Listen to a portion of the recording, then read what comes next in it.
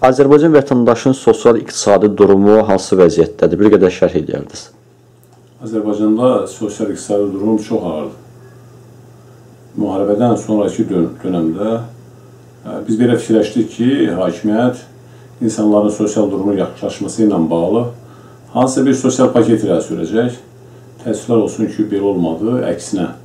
Bir tərəfdən benzinin dizel yanacağının qiyməti qaldırıldı. Ondan sonra qiymətlər paralel olaraq həndəs silsilinə artmağa başlayıb. Çoxlu problemlər yaranır. Yəni ərzağın qiyməti qalxıb, digər e, deməli istehlak mallarının hamısının qiymətləri qalxıb. Maaşlar qalxmayıb, pensiyalar qalxmayıb, e, uşaq pulu müavinətləri verilmir işsizlik baş alıb gedir, pandemiya şəraitidir, işsizlikdir, xüsusən gənclik özünə iş tapa bilmir. Bu halda da digərlər olsun. Onun halda təbii ki, əhalinin sosial vəziyyəti həddən artıq ağırdır və son vaxtlarda hakimiyyətdə sanki e, müəyyən o gizli əllər var ki, vəziyyəti gərginləşdirməklə məşğullar. Misal üçün, qaz sayğaçlarını birdən heç dəxli olmayan yerdə başladılar dəyişməyə. Nə ehtiyac var bunun? Heç ehtiyacı yoxdur. Misal üçün tələbələr vardı ki, bunlar imtahan verməli idi. Atalar işləməyib, valideyn analar işləməyib, valideynlər işləməyib, özləri belə bunlara heç bir güzəşt verilmədi. Hətta möhlət belə verilmədi. O Azərbaycanda əslində baxanda tələbələrin əksəriyyəti pullu təhsil alır. Yəni bizdə belədir. Ona görə bax orada da bir bir gərginlik orada yarandı. Xeyr qism adam var ki, onlar uşaqlarını e, institutlardan çəkdilər. Geri çəkdilər uşaqlar. E, eləsi var, kəsir oldu, e, deməli kursda qaldı. Eləsi var, ümumiyyətlə universitetdən çəkilmək məcburiyyətində qaldı. Belə bir şərait, yəni iqtisadi baxımdan vəziyyət gərgindir, hökumətin sosial sahədə atdığı addımlar yetərsizdir. Azərbaycanda iqtisadi inkişafla bağlı e, demək olar ki, normal addımlar atılmır. Əksinə dövlət kapitalizminin formalaşması üçün addımlar atılır. E, bu da e, hesab edirəm ki, doğru e, yanaşma deyil. Biz düşünürük ki, ölkədə vəziyyət düzəltmək üçün iqtisadi, sosial sahədə ciddi islahatlar aparmaq lazımdır yüngülləşdirmək lazımdır. Hər şey bazar iqtisadiyyatına uyğun formada həyata keçirilməlidir. Sosial bir dövlət qurulmalıdır. İnsanların sosial rifahına yönəlik siyasət həyata keçirilməlidir. Bizdə isə aparılan siyasət vahid mərkəzdə bütün iqtisadi sferaların e, iri şirkətlərin vahid əldə cəmlənməsinə xidmət edir. Və bu da dövlət kapitalizminin göstəricisidir. Bildiyiniz kimi, misal üçün, suyun, içməli suyun da qiyməti qalxdı və bu da yalnız fiziki şəxsləri əhatə elədi.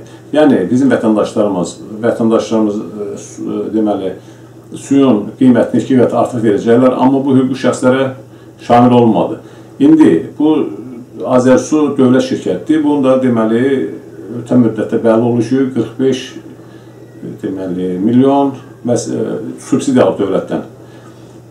Azərsu rəhbərliyi verilən subsidiyanı darmadağın edəcək. Azərsu rəhbərliyi, eləcə digər şirkət rəhbərliyi vəsait milyonlarla, 100 milyonlarla, milyardlarla vəsaiti güya e, soğuracaq və yaxud özləri üçün istifadə ediləcək. Sadə vətəndaş bunun bu, e, deməli əvəzinə cərimə verməli olacaq. Yanaşma budur. İnsanlara münasibət düzgün deyil, hesab ediləcək digər sahələrdə olsun.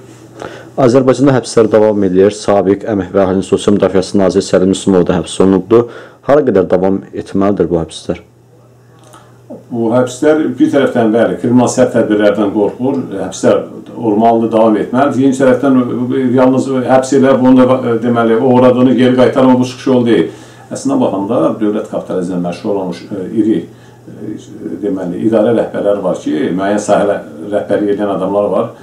Bunların əksəriyyətinin əməlləri yoxlanmalıdır. Əksəriyyətində bunun əgər yoxlansa, çox, çox əminliklə deyirəm ki, bunların əksəriyyəti həbs olmaq məcburiyyətində qalacaq. Və biz hesab edirik ki, əvvəlan oğurlanan pullar leqallaşdırılmalıdır. Yəni bu həbslə getdi orada da burcu həyatı yaratdı. Bununla məsələ bitmir. Səlim Müslümov bundan neçə il əvvəl e, deməli bir dəfə həbs olmuşdu. Ondan sonra nə ehtiyac vardı Səlim Müslümova təzədən görəvə gətirdilər. İkinci dəfə Səlim Müslümov gəldi. Səlim Müslümov bu öz sahəsində çox böyük Azərbaycan xalqına ziyan vurdu. Əvvəla pensiya yaşının 65-ə çatdırılmasının müəllifi Səlim Müslümovdur. Çoxlu saxta 50 sənədləri düzəldildi. Yazılara sosial müavinət altında adı altında milyardlarla vəsait yeyildi. İnsanların haqqı, hüququ pozuldu. Aradan neçə ay keçdi. Səlim Müslümov işdən çıxartdılar, sonra getdi universitetdə dərs dedi. İndi Səlimov indi həbs olunur. Səlim Müslümovla bərabər xeyli qism adamlar var ki, bunlar da həbs olunmalıdır. Yenə deyirəm. Bir qədər adlar çəkə bilərik, məsələn, bu məmurlardan. məmurların bax bir-bir adlarını çəkirəm. E, kimlər barəsində ciddi araşdırma aparılmalıdır, yoxlama aparılmalıdır və nəticədə əgər yoxlama aparılsa çox əminliklə deyirəm bunlar həbs olunmalıdır. Azər prezidenti. Ondan sonra e, Azərsu Su Meliorasiya Səhmdar Cəmiyyəti var bu. Azər Avtoyol, Dəmir Yol İdarəsi, özü hansı var? Bax bu hamısı ki vahidəli cəmləyirlər, bu şirkətlər var. Bunların hamısı var. Hamısında belədir ki, Sokar olsun, digər şirkətlər olsun ki, bunlar dövlətdən küllü miqdarda vəsait alıblar. Xeyr olanda bunların rəhbərliyinə gedir, ziyan olanda dövlət ödəyir. Yəni, kimin ki borcu var, dövlət vəsait ayırıb. O vəsaiti səmərəli istifadə eləməyib, bunlar təbii ki, bunların rəhbərliyi barədə araşdırma aparmalıdır. Yaxınlarda son məlumatı deyim ki, Maliyyə Naziri məlumat verdi. Araşdırma nəticəsində 52 milyon yeyinti var. Bu adamlar heç adları çəkilməyib. Kimlərdir? Kim, bax, o pulu göyə soğuran kimdir? İndi görürsün məlumat verirlər ki, deyək ki, təqribən nə qədər yarım milyard yaxın vəsait, yarım milyard vəsait edir ki, körpünün ikincisində deməli vaxtı ilə pul israf olunub indi indi üzə çıxır. Əslində baxanda indi o vaxtda məlumat gəzirdi. Amma indi ona görə üzə çıxır ki, görünür, e, deməli, müəyyən qism adamların yerindən həbsi gündəmdədir və xortumları sıxmaq üçün, o vəsaiti əllərindən almaq üçün bu məsələ gündəmə gəlir.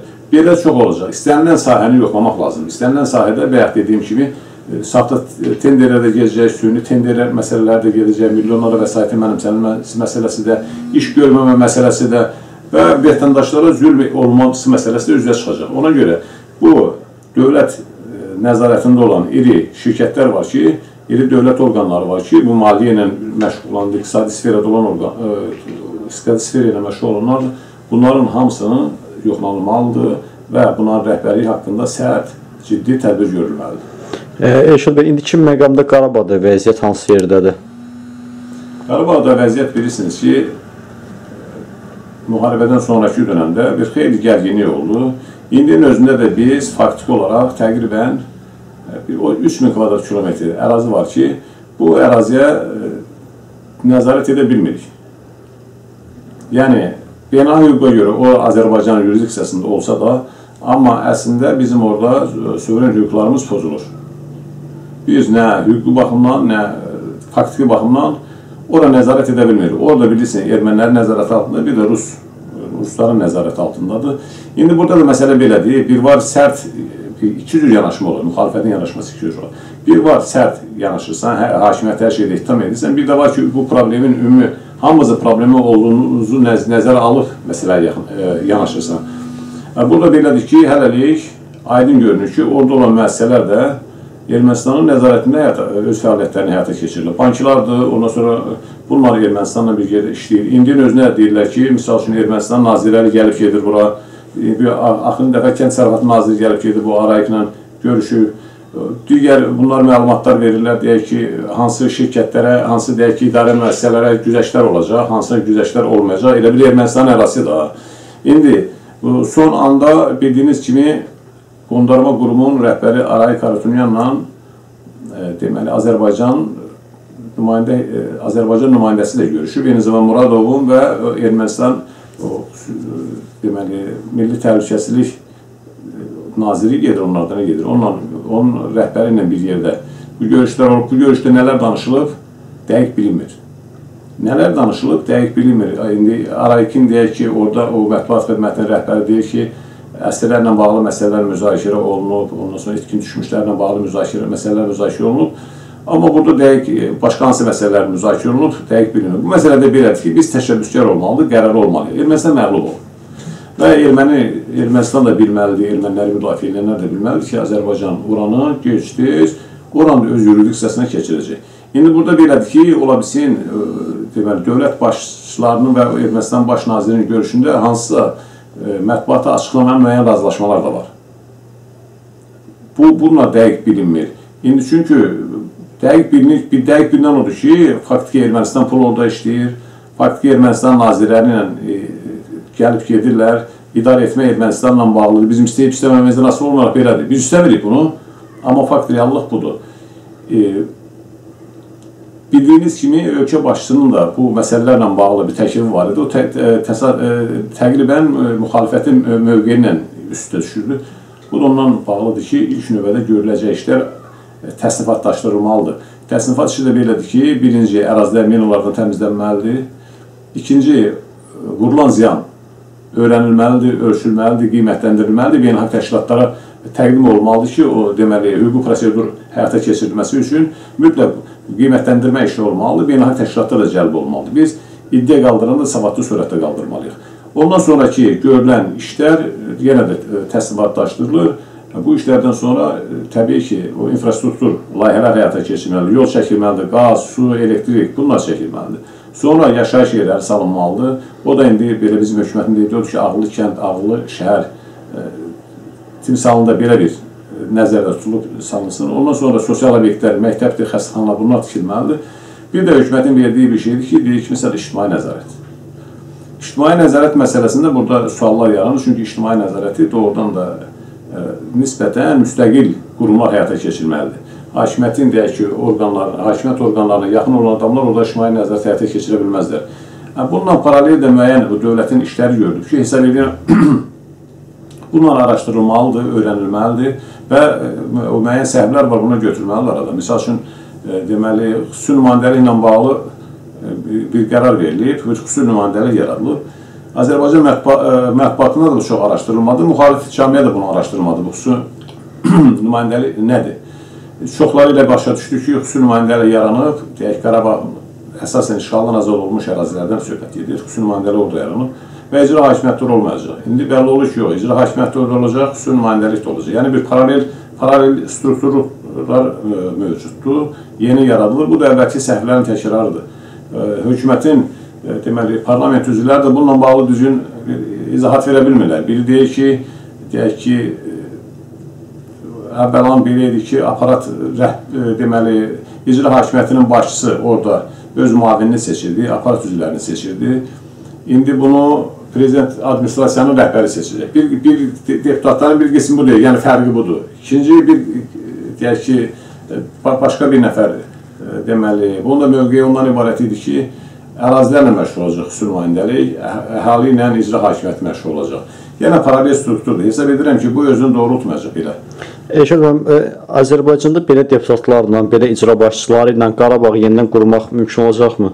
Yox, bu komanda ilə Qarabağı yenidən qurmaq olmaz. Bax, Dirçəliş fondu da yaradılıb. Dirçəliş fondunun əsasnaməsində göstərilir ki, Dirçəliş fondunun müşahidə şurasının çox böyük səlahiyyətləri var. Amma xeyli iş görməlidir. Amma o tərkiblə, misal üçün orada müğənni var. Deyək ki, orada humanitar sahibi olan adamlar var, iş, işləyirlər institut rektoru var və yaxud da ki, eləsi var deputat. Bunların işi gücü yoxdur, işin gücünü atıb, heç bir deyək ki, əmək haqqı da almır. Gəlir bu işləri həyata keçirə bilər? Yox, mümkün deyil, onu eləmək mümkün deyil. Bunu biraz hiss olunur ki, bu sənədlər hazırlananda tələsi hazırlanır.